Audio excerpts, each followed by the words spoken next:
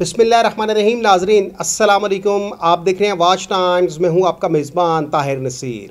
ناظرین، جہاں رہیں، خوش رہیں، آباد رہیں، سلامت رہیں۔ ہماری دعا ہے کہ آپ نصر بازوں ٹھگ بازوں بہروپیوں، لٹیروں اور فراڈیوں سے بھی بچ کے رہیں۔ ناظرین، پاکستانی مجبور، مظلوم عوام کو نوسر باز آتے ہیں، بڑے منافع کا لالچ دیتے ہیں، لوٹ کر رفو چکر ہو جاتے ہیں۔ آج کا ہمارا پروگرام ہوگا الحیات گروپ آف کمپنیز کے مالک جانزیب عالم کے اوپر۔ آج پروگرام میں آگے چل کر آپ کو میں بتاؤں گا کہ جانزیب عالم پاکستان سے کیسے فرار ہوا؟ پروگرام میں آگے چل کے آپ کو میں یہ بھی بتاؤں گا کہ جانزیب عالم کتنا پیسہ پاکستانی عوام سے لوٹ کر فرار ہوا ہے۔ پھر ہم بات کریں گے سمارٹ گروپ کے اوپر بھی، کیونکہ سمارٹ گروپ کے آف کمپنیز کے اوپر جو اس کے چارٹرڈ اکاؤنٹنٹ ہونے کے دعوے دار مالک تھے، نوید اختر، ان کا اصل نام نوید خان ہے۔ اور ان کے بینک اکاؤنٹس بھی کلوز ہو چکے ہیں۔ میں نے دو بینک اکاؤنٹس آپ کو بتائے تھے کہ کسی کے نام پر نوید خان نے کھولے ہوئے ہیں۔ ان میں سے ایک کا نام احمد تھا اور دوسرے کا نام عبد القدوس تھا۔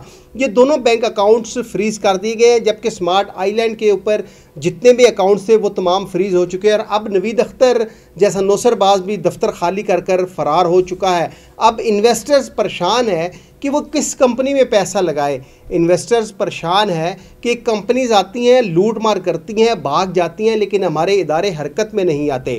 فور یو ریئل ٹریڈرز کے اوپر بھی اسلام آباد میں ایک مقدمہ درج ہوا ہے۔ ایک ڈاکٹر صاحب کے جاننے والے نے مقدمہ درج کروایا، اس کے اوپر آپ کو بتائیں گے کہ فور یو ریئل ٹریڈرز کہ انویسٹرز کیا کریں؟ کیونکہ فور یو ریئل ٹریڈرز کے جو مالک تھے ساجد حسین، جو عمرے کی ادائیگی کے لیے گئے، انہوں نے اپنا ایک ویڈیو بیان جاری کیا اور دعویٰ کیا کہ وہ یکم اگست سے پہلے پہلے پاکستان واپس آ رہے ہیں اور تمام انویسٹرز کو ان کا پیسہ واپس کریں گے۔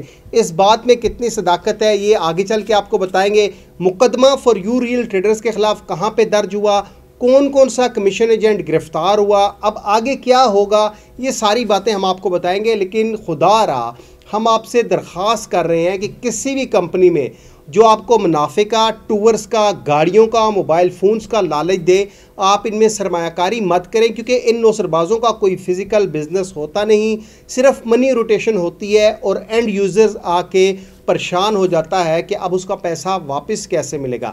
الحیات گروپ آف کمپنیز کی ہم بات کرتے ہیں۔ جو کمیشن ایجنٹ یہ دعویٰ کرتے تھے کہ الحیات تا حیات، اب وہی کمیشن ایجنٹ دیگر کمپنیز کو جڑ چکے ہیں۔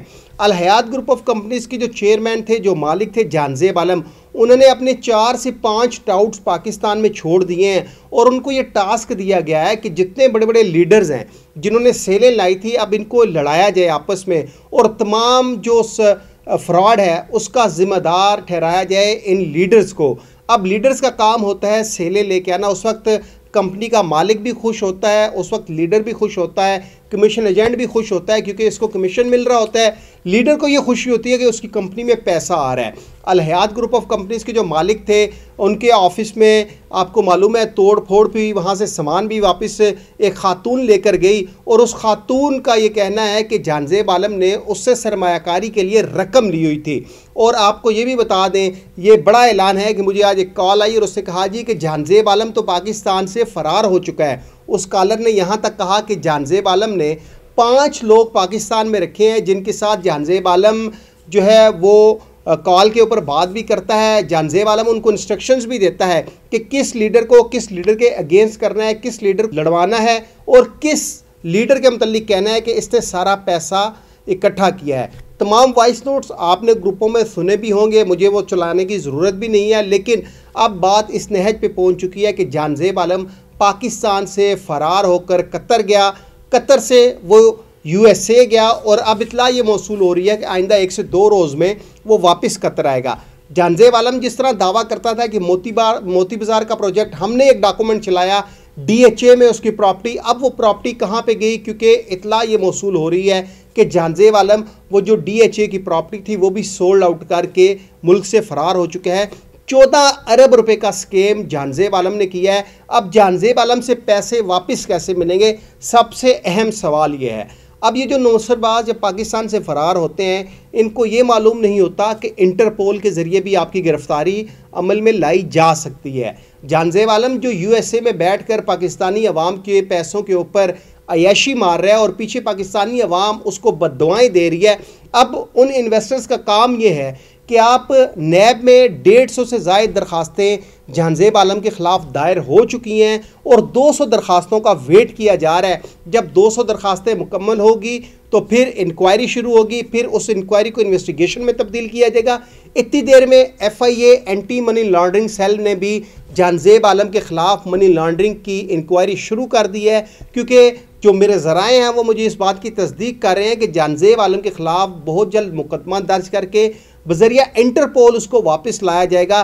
اتنی دیر میں جو ذرائع ہیں وہ یہ بھی بتاتے ہیں کہ اگر تو جانزیب عالم نے انویسٹروں کا پیسہ واپس کر دیا ویل اینڈ گڈ اگر نہیں کرتا تو آئندہ ایک سے دو ماہ کے اندر جانزیب عالم کو بیرون ملک سے گرفتار کر کے بذریعہ انٹرپول پاکستان واپس لایا جائے گا۔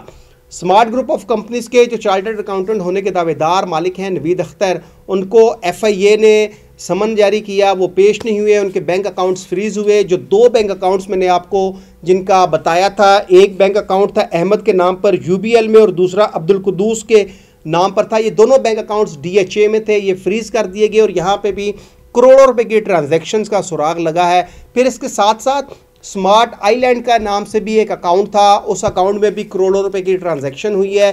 اب سمارٹ گروپ کے مالک نوید اختر کے خلاف بھی منی لانڈرنگ کی انکوائری ہوگی کیونکہ سارا پیسہ اس نوسر باز نے بھی دبئی بھیج دیا ہے۔ اچھا ناظرین، میں آپ کو یہاں پہ ایک بات بتاؤں کہ یہ لوگ مجھے جس طرح دھمکاتے ہیں تھریڈز کرتے ہیں، تو میں تو یہ کہتا ہوں کہ ایک پلان وہ ہے جو یہ نوسر باز بناتے ہیں اور ایک پلان وہ ہے جو میرا رب بناتا ہے۔ ہوتا وہی ہے جو منظور خدا ہوتا ہے، یہ نوسر باز مجھے طرح طرح کی دھمکیاں دے کے، مجھے قتل کرنے کی، سازش کرنے کی بھی بہت زیادہ انہوں نے پلاننگ کی۔ لیکن میرے رب کو جو منظور ہے، ہونا وہی ہے۔ اب سمارٹ گروپ کا بھی ٹھیا ٹھپا گول ہو چکا ہے۔ سمارٹ گروپ کے انویسٹرز ان کے پاس گولڈن چانس ہے کہ جلد از جلد ایف آئی اے سے رجوع کرے اور اپنی ریکوری اس نوسر باز سے کرے کیونکہ اس نوسر باز کے ساتھ جو لوگ جڑے ہوئے ہیں، وہ بھی آپ کے سامنے ہیں۔ میں بار بار کیا نام لوں؟ رانا عمران ہے۔ عمران کیانی ہے؟ ملک نوید ہے۔ پھر عظمہ خان ہے، عامر بشیر ہے، راجہ ریاض ہے۔ یہ بہت سے لوگ ہیں، راجہ ریاض کے اوپر کل میں پروگرام کروں گا۔ دبئی میں راجہ ریاض کے اوپر بھی ایک انکوائری چل رہی ہے اور راجہ ریاض بہت زیادہ پریشان ہے کہ اس کو دبئی گورنمنٹ وہاں سے فرار ہونے نہیں دے رہی، وہ بہت کوشش کر رہا ہے۔ اس کے اوپر الگ سے پروگرام کروں گا۔ اب آتے ہیں فور یو ریئل ٹریڈرز کے اوپر۔ میں نے سال پہلے کہہ دیا تھا، یہ فراڈ کریں گے، وہی بات ہوئی فراڈ کی تھانہ شالی مار میں ایک مقدمہ درج ہوا یہ مقدمے کا متن آپ دیکھ لیں۔ یہ مقدمہ جو ہے، ایک شخص نے درج کروایا ہے اور اس نے یہ کہا ہے کہ میں نے پندرہ لاکھ روپے کی انویسٹمنٹ کی تھی اور اس انویسٹمنٹ کے بدلے جو انویسٹمنٹ کی تھی، یہ سب سے اہم بات ہے۔ ناظرین، یہ آپ مقدمے کا متن آپ دیکھ رہے ہوں گے۔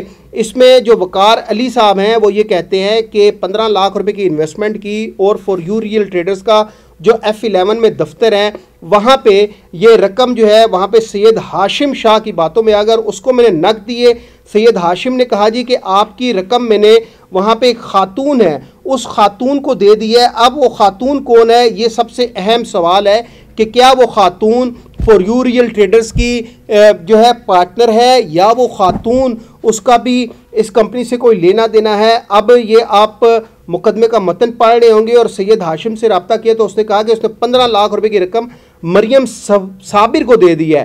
اس نے کمپنی کے ممبران کو دی جو باغ گئے اب ناظرین، یہ ایک پہلا مقدمہ تھانہ شالیمار میں درج ہوا ہے۔ مریم صابر، وہ بھی گرفتار ہوئی ہے۔ سید ہاشم بھی گرفتار ہوا ہے۔ مریم صابر کی اب اگر بیل ہو گئی ہے تو میں اس سے متعلق کچھ کہہ نہیں سکتا۔ البتہ جو سید ہاشم رضا ہے وہ چار روزہ جسمانی ریمانڈ پر پولیس کے پاس رہا اور اس کو اڈیالہ جیل منتقل کر دیا گیا۔ ہے اب جو انویسٹرز ہیں، ان کو چاہیے کہ جلد از جلد فور یو ریئل ٹریڈرز کے خلاف مقدمات درج کروائیں۔ پہلا مقدمہ ہے۔ شیخ ساجد وہ دعویٰ کر رہے ہیں، یکم اگست سے پہلے پہلے پاکستان آئے گا اور تمام انویسٹروں کو وڈراول بھی دے گا آفس بھی واپس اوپن کرے گا، کیونکہ توڑ پھوڑ کا خدشہ تھا، جو جانور تھے وہ یہ انویسٹر لے جاتے، اس لیے ان جانوروں کو سائڈ بھی کیا گیا ہے۔ کتنی صداقت ہے، آنے والا وقت بتائے گا، لیکن خدا رہا کسی بھی کمپنی میں آپ انویسٹمنٹ مت کریں۔ اگلے پروگرام تک لے اپنے میزبان، طاہر نصیر کو اجازت دیجیے اللہ حافظ۔